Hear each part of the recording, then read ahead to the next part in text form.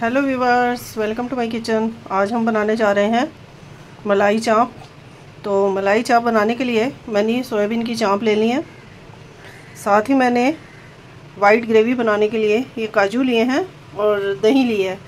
और अब हम क्या करेंगे, काजू और दही को मिक्स करके इसका पेस्ट बना लेंगे। साथ ही ये फ्रेश मलाई ले लिया मैंने। थोड़ा सा ये अदरक और हरी मिर्च को मैंने क्रश कर लिया है। तो सबसे पहले क्या करेंगे कि सोया चाप के इसके स्टिक्स निकाल के इसको पीसीज में काट लेंगे। ये देखिए चाप को हमने ऐसे पीसीज में काट लिया है, अब हम क्या करेंगे? इसमें थोड़े से मसाले मिक्स करते हैं, थोड़ा नमक और थोड़ी हुई है काली मिर्च। इसको अच्छे से मिक्स करके पाँच मिनट के लिए इसको ऐसे ही रख देंगे। ये देखिए चाप को पाँच सात मिनट हो गए मैरिनेट करे हुए। अब हम क्या करेंगे कि पैन में मैंने ये थोड़ा सा ऑयल डाला और थोड़ा बटर डालेंगे। और ये चाप को हम शैल फ्राई कर लेंगे।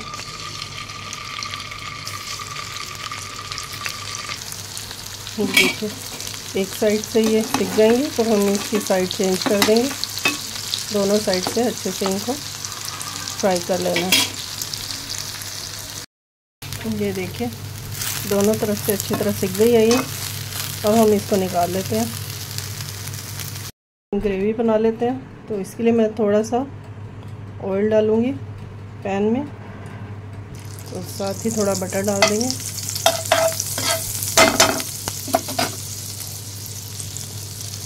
अब इसमें डाल देते हैं थोड़ा सा जीरा। ये कुटी हुई इलायची है।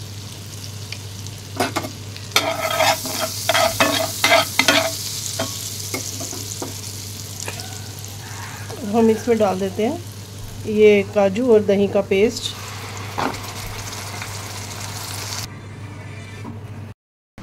और फिर इसमें मसाले मिक्स कर देते हैं। नमक डाल देते हैं। नमक हमने चाप में भी डाला है थोड़ा। और कम ही डालेंगे। और थोड़ी सी ये काली मिर्च। और साथ ही ये अदरक और हरी मिर्च क्रश करी हुई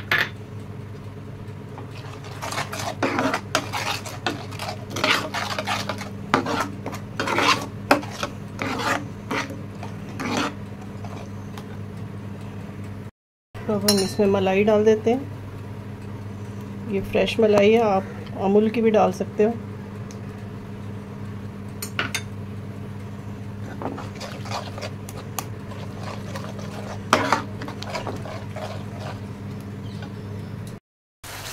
अब हम ये चाप जो है इसमें पलट देंगे।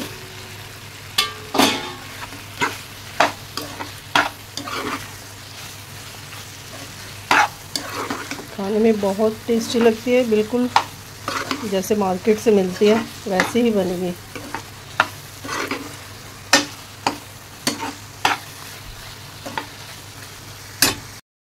पाँच मिनट के लिए इसको ढक कर रख देते हैं। सिंपल व्यूवर्स पाँच मिनट हो चुके हैं।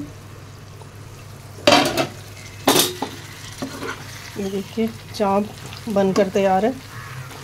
चलिए सर्व करते हैं गर्मा गर्म